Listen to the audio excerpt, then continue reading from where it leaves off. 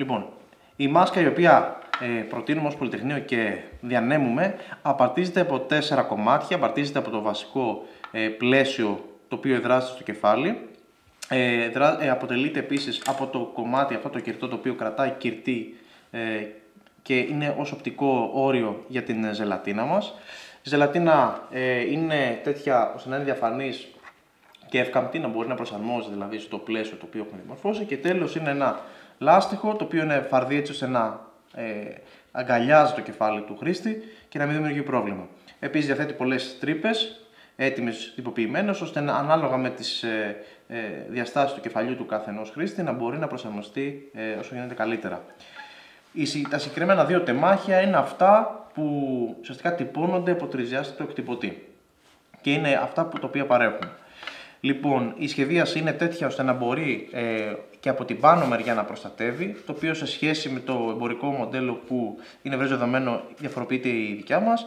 Αυτό βέβαια προσδίδει μια μεγαλύτερη ακαμψία, το οποίο δεν δίνει τόσο ευκολία όσον αφορά την προσαρμογή, αλλά παρόλα αυτά δίνει πολύ μεγαλύτερη προστασία.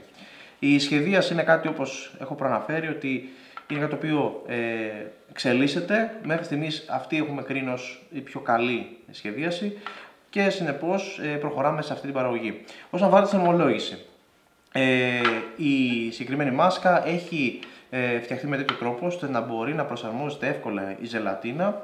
Συνήθως τη διαθέτουμε, ε, θα, αν, δεν, αν δεν υπάρχει ε, έτοιμη ζελατίνα, την οποία έχουμε διαθέσει εμείς με τρύπες και κοψίματα, θα ανεβεί ε, διαθέσιμο στο διαδίκτυο σχέδιο που θα μπορέσετε να το ε, ε, κάνετε ακριβώς δηλαδή την διαδικασία.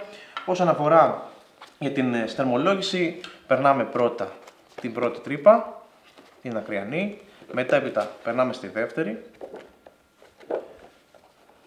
μετέπειτα στη τρίτη και τέλος τεντώνουμε το τελευταίο πιάσιμο. Η συγκεκριμένη σχεδίαση των, ε, των προεκτάσεων που υπάρχουν στην άκρη είναι έτσι ώστε να μπορεί να ασφαλίζει η ζελατίνα και να μην τυχόν βγει και ταυτόχρονα μπορεί να ξαναβγεί. Δηλαδή έχουμε μια ευκολία στην ε, προσαρμογή και αφαίρεση. Μετέπειτα προχωράμε στο κάτω τεμάχιο το οποίο ουσιαστικά λειτουργεί σαν οπτικό όριο και ταυτόχρονα κρατάει την ζελατίνα τεντωμένη και λυγισμένη το οποίο το τοποθετούμε απλώς από πάνω και το χτυπάμε ελαφρώς για να κάτσει και μετέπειτα προχωράμε στο λαστιχάκι το οποίο εμείς για λόγους ασφαλείας προτείνουμε να το περνάμε σε δύο σημεία, ένα από εδώ και ένα από πάνω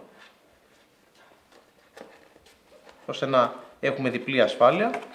Το ίδιο κάνουμε ακριβώς και από την άλλη μεριά, ώστε να έχουμε όσο το γίνεται πιο καλή συγκράτηση.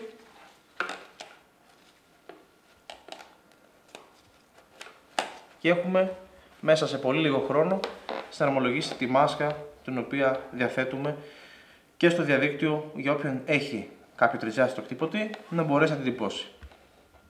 Εφόσον έχουμε συνομολογήσει σωστά τη μάσκα μας, την τοποθετούμε. Βεβαιωνόμαστε ότι δεν κουνιέται, είναι ασφαλής στηρωμένη πάνω στο κεφάλι μας και μπορούμε να τη χρησιμοποιήσουμε.